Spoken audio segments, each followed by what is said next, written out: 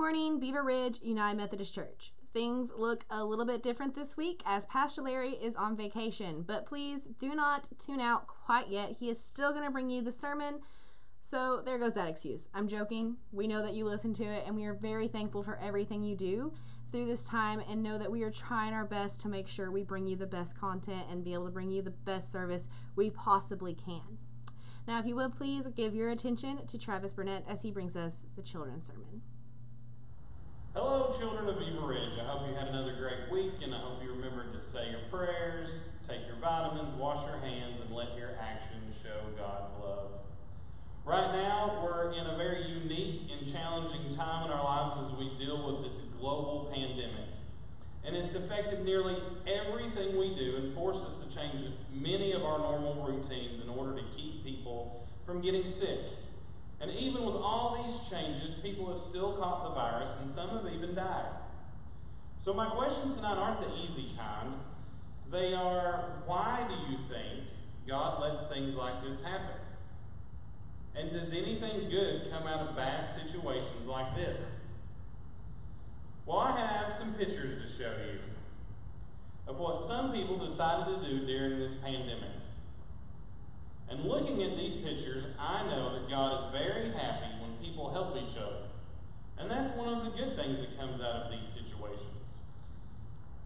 Well, in our Bible story today, found in Genesis 37, which I hope you read at home with your parents, Joseph was a man who found himself in a bad situation. His own brothers got jealous of him when his father Jacob gave him a new coat, a beautiful coat of many colors. In fact, his brothers were so jealous of him that they were going to kill him. But instead, they sold him as a slave into Egypt. More bad things happened to Joseph while he was in Egypt, and even though he didn't do anything wrong, he was thrown into prison. How would you like for all those things to happen to you? But years later, God used Joseph to warn the people of Egypt about a time when there wouldn't be enough food. He made a plan to keep all the people of Egypt from starving, and the Pharaoh made him the second in, second in charge of the whole country. That's a big change, isn't it? He went from being a slave to a prisoner to being the second in charge of a whole country.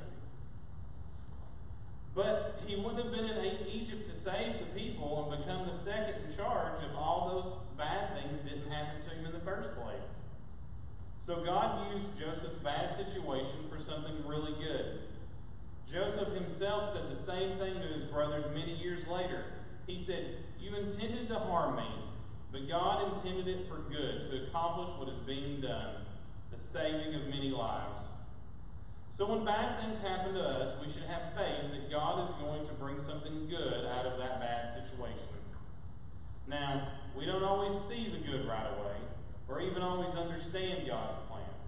But know that God is an all powerful creator who's always working for our good. Let us pray. Dear God, thank you for loving us. Please help us to trust you when bad situations happen Thank you for bringing good things out of those bad situations. In Jesus' name we pray. Amen. As times continue to look uncertain, we are faced with many joys and many concerns. Know that we hear each and every single one that you send to us, and we are praying for them, and even the ones you don't, we know that there are many things on your heart. So don't be afraid to send those to us, to text them to us, Facebook message, however you want, just so we can be able to pray for you. Now, if you would please bow your head with me for this morning's prayer. Lord, we thank you for today and all that you bring to us. And please let every word and song from our mouths, Lord, be to you in your service and let it be the words that you want us to bring to these people, Lord. Let them be able to hear you through us today as we worship you together, be it through this unusual means, though it's becoming more usual as time goes on. Lord, we thank you for all of this. And please lift every single concern in these wonderful people's hearts and hold them dearly as we know that they are weighing, weighing heavily on them. Lord, there are many things to celebrate as students are going off to college this week to move into dorms. We know that it's kind of weird for them. They're moving out in a very uncertain time. But please bless them and let them be able to do the things that you want them to do through school. Please keep a hedge of protection on teachers, on students, on every staff member that is going out into the schools as school begins up this week, next, and so on. Lord, we thank you again and we love you dearly, Lord. So if you would please join me in the prayer that Jesus taught us, saying, Our Father, who art in heaven, hallowed be thy name. Thy kingdom come, thy will be done, on earth as it is in heaven. Give us this day our daily bread, and forgive us our trespasses, as we forgive those who trespass against us. And lead us not into temptation, but deliver us from evil. For thine is the kingdom, the power, and the glory forever. Amen.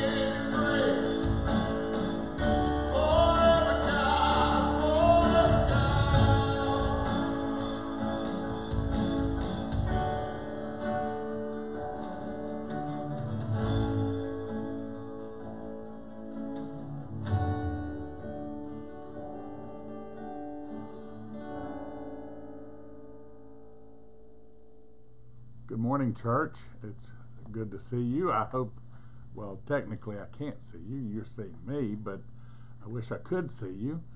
Uh, actually, I am on vacation right now, but we decided to do it this way since we were out anyway, and rather than invite someone in to try to work through all the technical uh, challenges that we're facing, that I go ahead and do the sermons while I was gone. So even while I'm gone, I get to get to preach at you, and I'm happy to, to do that. I hope you're well.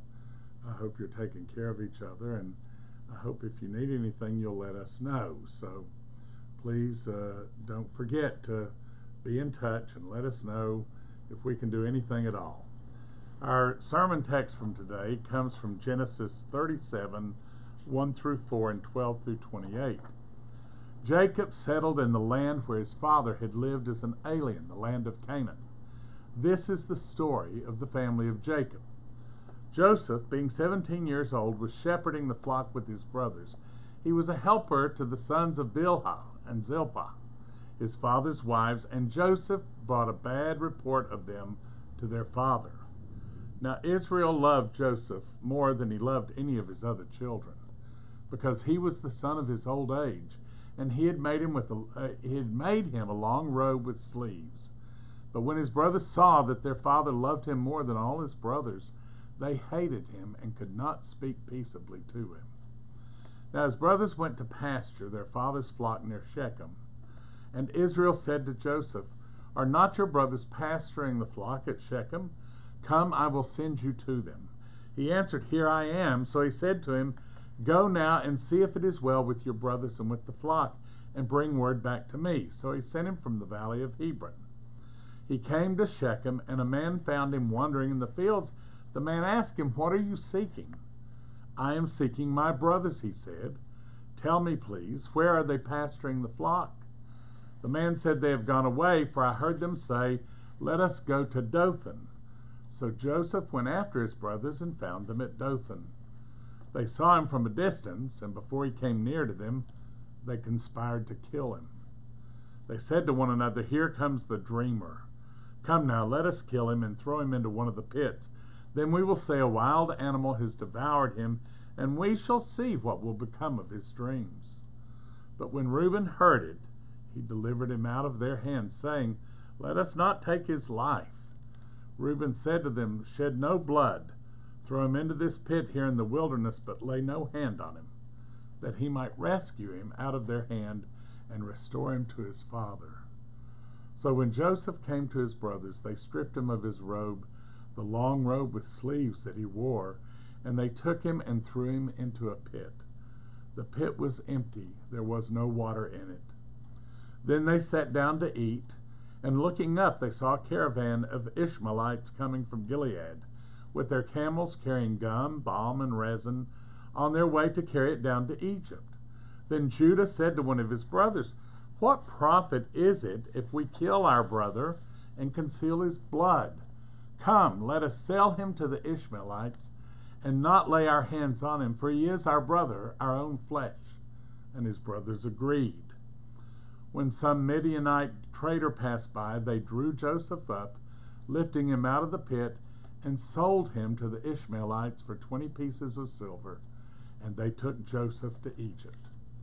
This is the word of God for each of us, children of God. Thanks be to God. In history, the history of, of human beings, there's always been a fantasy about time travel. Uh, we see lots of movies about it. There are time bending ways to get back and forth to different places. Uh, they ask a question of us what would happen if we could time travel in history?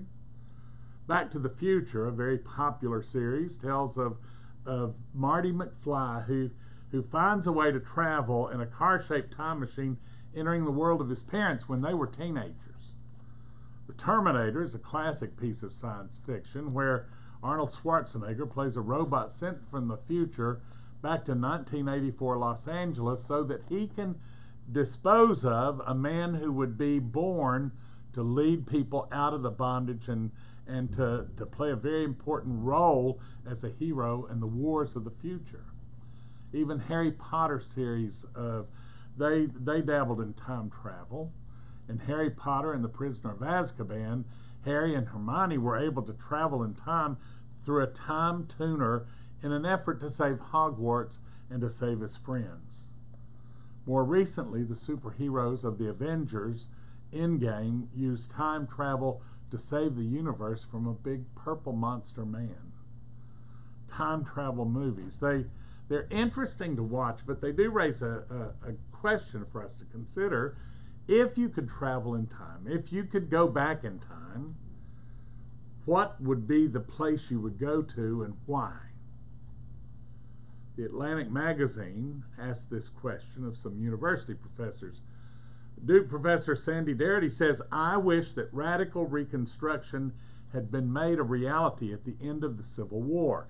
If this had happened, former slaves would have enjoyed full political participation along with control over the schooling of their children, protection by the Union Army, land grants of 40 acres for farming.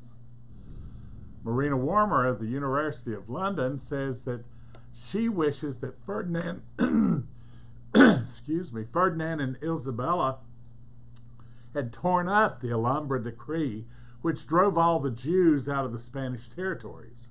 History would look very different, she says, if if the coexistence of Jews, Muslims, and Christians had had been a part of our history, had been going on all along. Rutgers professor Samantha Kelly has a suggestion that is, well, it's a little bit weird, different. She wishes that agriculture had never been invented, which is kind of an interesting uh, take on things. But she says there would be far less environmental degradation and income inequality if there was a world without industrial agriculture. It would be more like Garden of Eden in the Bible. People would would uh, grow only what they need and and not be wasteful or not be uh, greedy. She wants to go back in time to this Garden of Eden concept where everybody has what they need. So I asked the question, what change would you make? What place would you go to? Maybe you would prevent the assassination of Abraham Lincoln, overthrow Adolf Hitler before the Second World War, or maybe you would save Jesus from the agony of the cross. In the book of Genesis, a man named Jacob settled in the land of Canaan. He had 12 sons, and one of them was named Joseph. Jacob loved Joseph more than any of his other children, it says, because he was a child of his old age. And we kind of understand what that means. Uh, the baby in the family is is often the the uh, the choice child for many people. I remember in my family, um, we always called my aunt, who was the baby, the princess. She was always a princess, even though they all grew up on a farm. But apparently, the princess didn't have to work as hard as the others did, or didn't have to do the same kind of chores. So treated different. But I don't think it's really because they loved her more. It's just that she came around when when other things were already established, things were changing. I understand why, but here is Jacob who loved Joseph more than any of his other children, and he made him a coat with long sleeves. We have heard of that coat called a coat of many colors. You can imagine how this made his brothers feel that Joseph not only was the favored child, but even got special wardrobe consideration. That's that certainly had something to do with them being angry, I guess. They hated him. They could not speak peaceably to him, it says. Joseph was a dreamer. One of the dreams he told them contained the message that his brothers would bow down to him, and this didn't go over too well either. This didn't help things at all. If you could go back in history, you might go back to Jacob the father and say, Don't play favorites with Joseph. His brothers hate him. At age 17, Joseph was shepherding the flock with his brother, acting as a helper. Four of them were misbehaving in the field, so Joseph told on them to, this, to his father. He brought a report to his father. Dan and Naphtali and Gad and Asher, he threw them under the bus because of the way they were behaving. If you could go back in time, you might say to, to Joseph, "Don't be a snitch. Don't don't get your brothers in trouble. They're gonna they're gonna try to kill you." The situation went from bad to worse when Joseph was sent to check on his brothers as they took care of the flock. He went after them, found them at a place called Dothan. His brothers saw him from a distance and they conspired to kill him when they saw him coming. They said, Here comes this dreamer. Let's kill him and throw him into one of these pits. Then we'll tell Dad that a wild animal has devoured him. We'll see what will become of his dreams then. If you could employ a time turner like in Harry Potter, you might say to his brothers, when you go back, don't do it. You will never get away with murder. And fortunately, fortunately, the oldest brother, Reuben, talked some sense into him, and he said, "Don't, let's not kill him. Let's not get blood on our hands. He is our brother. He is kin." And he planned to come back and rescue Joseph after the fact and restore him to his father. But uh, they decided to listen to Reuben and they put him in a pit. Uh, they stripped him of his robe and they decided that they would leave him there to die. When they sat down to eat, though, they saw a caravan of Ishmaelites coming in the distance.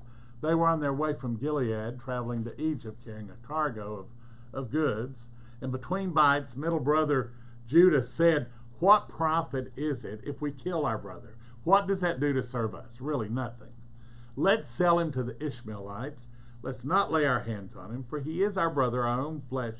And they all agreed. So when the caravan came close, they drew Joseph up out of the pit and sold him to the Ishmaelites for 20 pieces of silver. And the traveling traders took Joseph to Egypt. If you could be a time traveler, you might say to the brothers, Glad you didn't kill him, but selling him into slavery, is that a good deal? The story of Joseph and his brothers make us want to go back in time maybe and make some changes. And why not? Most of us most of us could think of positive choices that might have changed history and improved the world. Protecting Jews in 15th century Spain, saving Lincoln from assassination, supporting Reconstruction after the Civil War, all would have been good for God's people in some terribly trying times.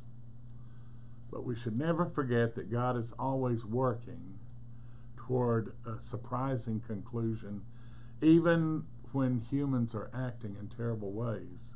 Even when we think everything is bad and and uh, as one of my members said, everything's going to hell in a handbasket. But but we forget that God takes those conditions and makes something else out of it. In the book of Genesis, Joseph was sold to Potiphar, one of Pharaoh's officials, which was bad. But Joseph found favor in his sight and was put in charge of his house, which was good. Then his wife saw how handsome Joseph was and said, I want you to come lie with me. And, and, and that was bad. Joseph refused because he was a man of character. He was not going to do that, and he was thrown into prison, which was bad. Then God showed him love and gave him favor in the sight of the chief jailer, which was good for him. Clearly, God is always working to a surprising conclusion. Joseph was in a bad place, then a good place, then a bad place, then a good place, because God is working. Even when humans are misbehaving, God is at work. If we were to go back in time and change history, we might disrupt the work that God is doing for the world. While in prison, Joseph became an interpreter of dreams. Uh, he, he eventually was offered insight into the dreams of the Pharaoh. He was released from prison and rose to power in Egypt, becoming second in command to Pharaoh himself. Eventually, famine struck the entire region, and people from many countries came to Egypt to buy bread, to find food. Among the hungry that came to Egypt that Joseph saw were his brothers, the very ones who sold him into slavery and put him in a position to be second in command to Pharaoh. At first, he did not reveal his identity and he treated them very severely. But eventually, he agreed to help them and said, Even though you intended to harm me, you intended to kill me, God intended it for good and, and, and used those things for good in order to save his people. The end of the story, J- Joseph forgave his brothers and provided for them as God wanted him to do. You intended to do me harm, said Joseph, naming clearly that his brothers did a great evil to him. But knowing that God is always working toward a surprising conclusion, he also said, God intended it for good. In every time and in every place, I believe God is working out God's purposes. Sometimes we cooperate with those purposes, sometimes we don't.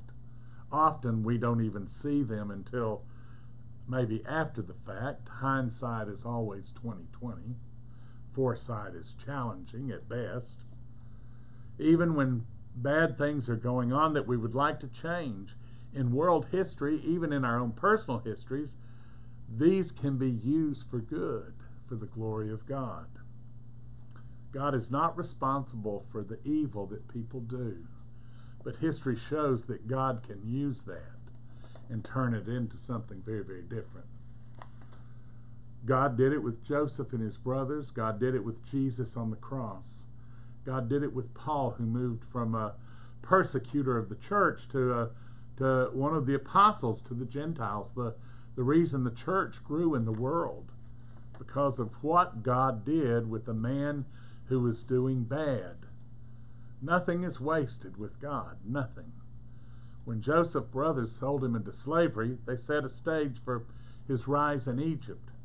When Jesus died and was buried, he was put in the right place for resurrection.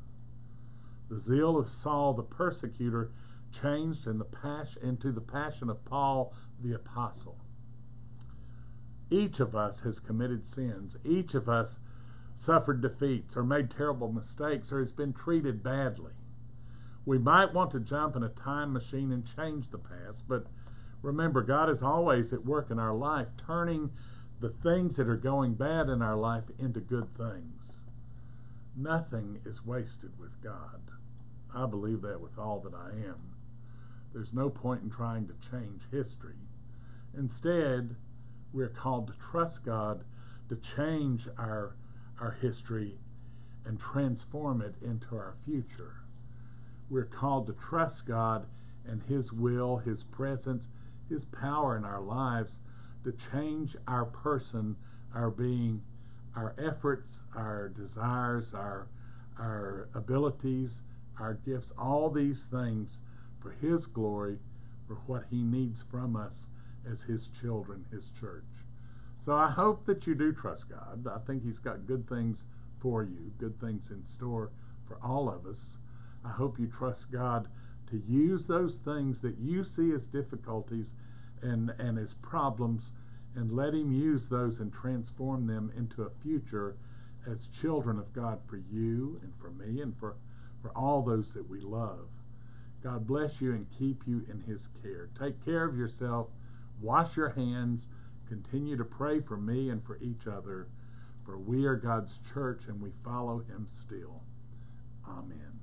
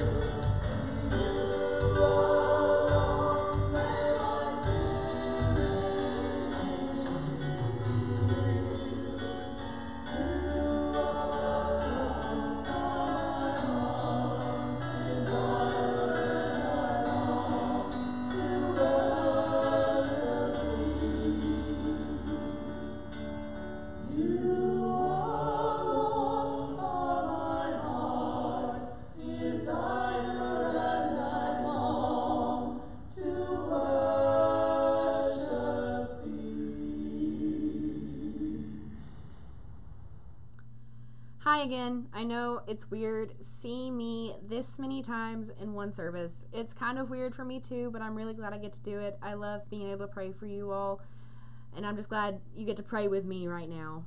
So if you would please close out this service with me in prayer.